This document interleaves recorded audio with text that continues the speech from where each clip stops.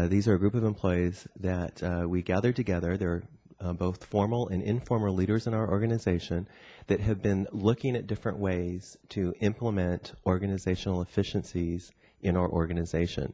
And they've been focused on the use of technology, on our budgeting system, on purchasing, um, and administrative functions.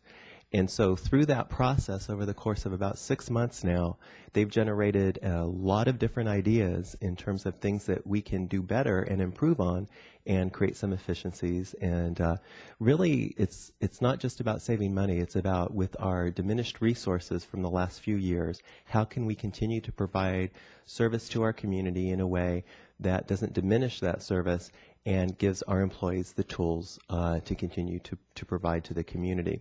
And so